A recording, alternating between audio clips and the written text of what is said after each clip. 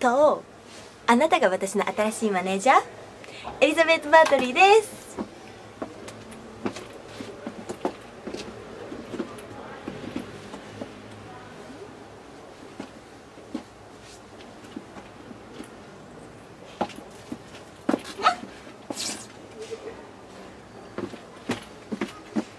はい嘘です。すいません。こえっ、ー、とスーパーハイリング女子のあむついちゃんです。えー、はい。すごい尻尾もついてて靴もあるんです。あのでも何よりね寒いですね。ボンジュール？あボンジュールじゃないか。ハンガリー人だからボンジュールじゃないんだけど。まあボンジュールで。ここはフランスなのでボンジュールにさせてください。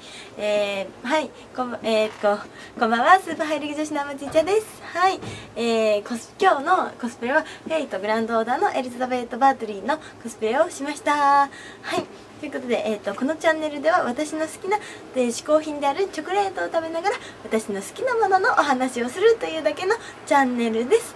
エビデンスはありません。えーはいえーと働きたくないです。あのみんながね再生してくれる、ね、再生してくれたら生活したいな再生して楽して生きていきたい、まあ、こんなダメな大人にならないでくださいね。ということで反面教師チャンネルです。よろしくお願いします。なんだろうねこれ。なんか尻尾っていうと性感帯っぽいよね。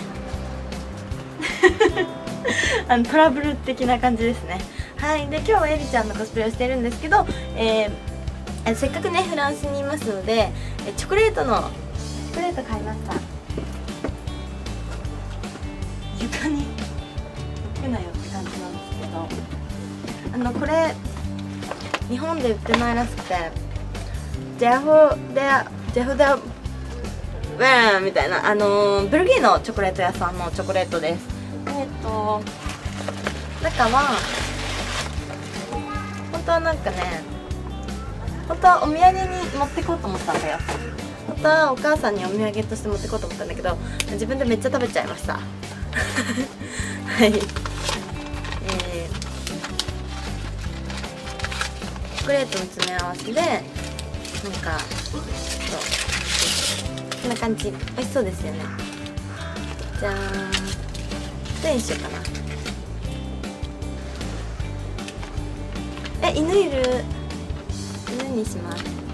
なんかいっぱいあるんだけど犬。いただきます。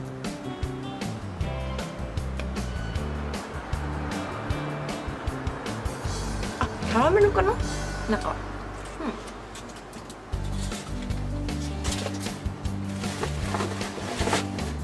うん。なんか本当は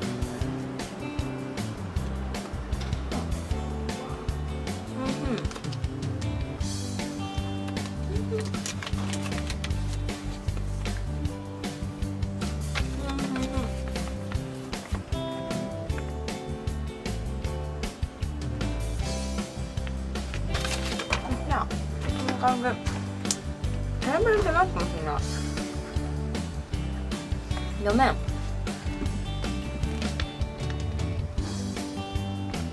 ですごいたくさんの種類があってそれを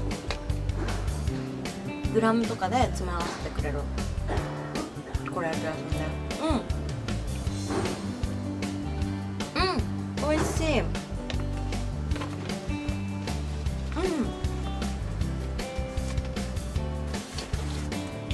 に行って数日経ちましたけどボンジュールサバーしか言えないですね相変わらず。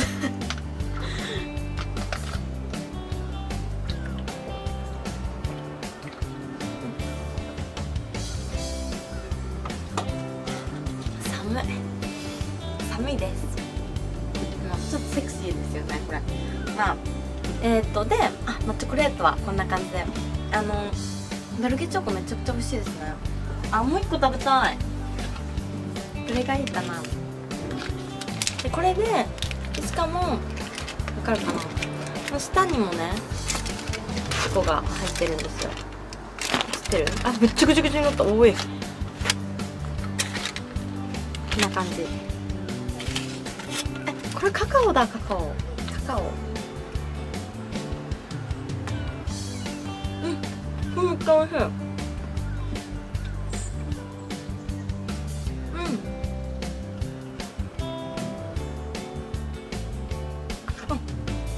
めっちゃ美味しい。酸味があんまなくてちょっと苦味はあるしコクはあるし。うん。これ美味しいな。これいっぱい買って帰ろう。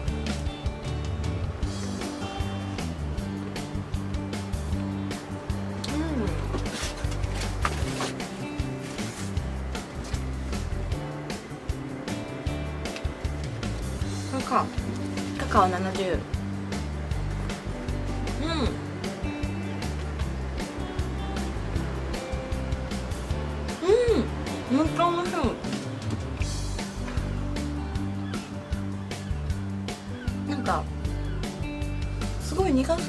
けどチョコレートっぽい感じで。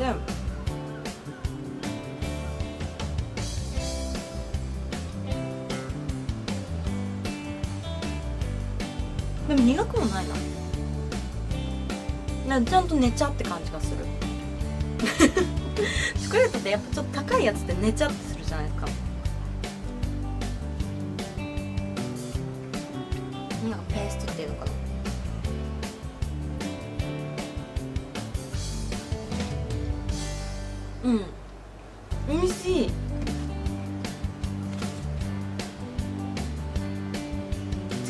全然読めんけどこれ美味しかったです。いっぱい買って帰ろう。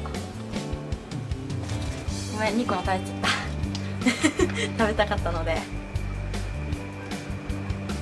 う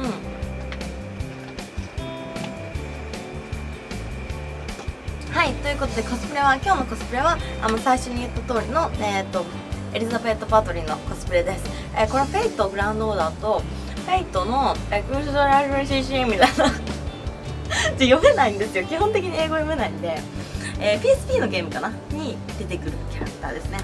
その結構ちゃんとしてません？ちょっとハロウィンっぽいかなと思って。あの本当はエリちゃんはハロウィン仕様の衣装もあるんですけどうーんまあちょっとお金ないんでこれで許してください。えーちなみに今日ハロウィンです。ハッピーハロウィン。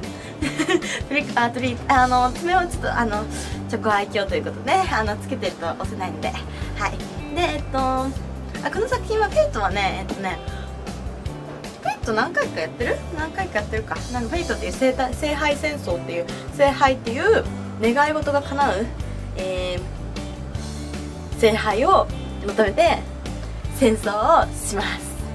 っていうので、えー、とこの子はねランサーですね、えー、槍かな？槍槍の。属性の。ランサーです。えで、えっと、エリザベット・バトリーっていうのはえっと、まあ、 Fateじゃないところだとえっとねハンガリー人で、えー血の伯爵夫人と呼ばれていた歴史上の人物です。 Fateっていうのは Fateっていう運命っていう意味ですね。えっと Fateのいいところはなんか歴史上の人物をすごい可愛くデフォルメして、えー戦いにあのサーバントだから召喚されるのね。あの召喚して戦うみたいな。なんかなんだろうね。自分のポケモンみたいな感じです。ね でポケモンじゃないんですけど召喚して戦うっていう聖杯戦争。聖杯を求めて戦うっていう物語が元。なんでなんかいろいろ歴史上の人物を召喚していってでこの子は一応あのそうだね。でも、えー、と歴史上だと血の伯爵夫人って呼ばれてるハンガジハンガリー人なんですけど、えーフェイトの中だとあの歌歌うアイドルみたいな感じですね。可愛い。あのちょっとすいませんって感じなんですけどはい。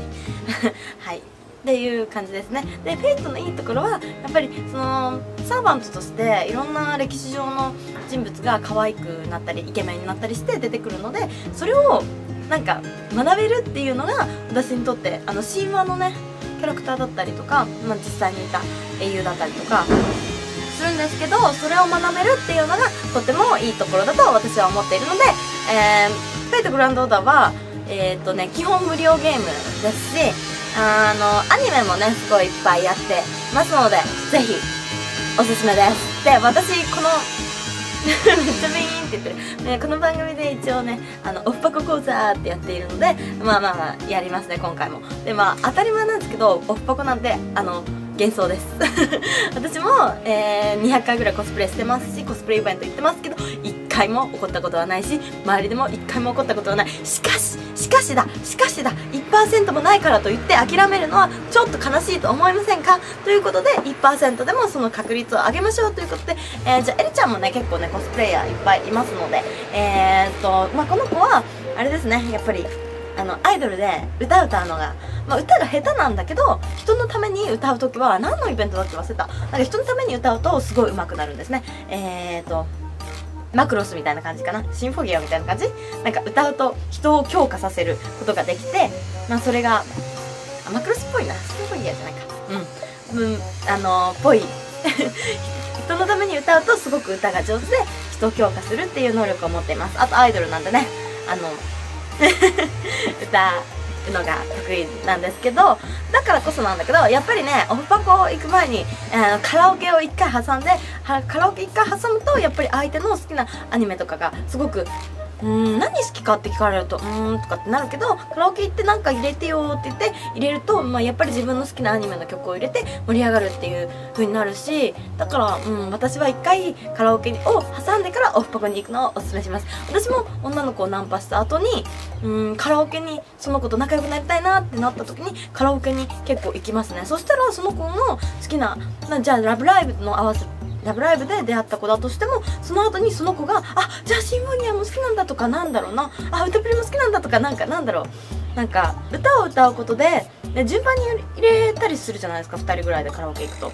でその子の好きな他の作品も分かってじゃあじゃあこれこれもねいろんなあの作品のお話が一緒にできてそして仲良くなれると私は思いました。まああんまり私カラオケそんなに人と行ったことないんですけどそれでもやっぱりそう思ったからやっぱ歌って大事ですよね。歌は歌はね人と仲良くなるのにすごくいいコンテンツだと私は思っているのでぜひぜひオフパコの前にカラオケに行ってから行くっていうのをおすすめします。はい今日のオフパコ講座でした。大丈夫かな？もう絶対めっちゃ怒られそうなんですけどいろんな人に。はい。せっかくなんで最後に一周でもして映んないんだこの角度だと。すごいね。あのねさっきのチョコ食べ過ぎてもうお母さんに持ち帰ろうと思ったのに食べ過ぎてもうねニキビできたんだよね。チョコ食べ過ぎてニキビできた。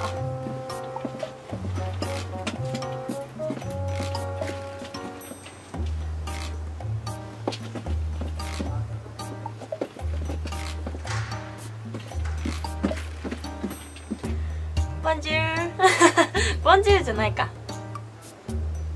じゃあ最後まで見てくださってありがとうございました。それではまた明日。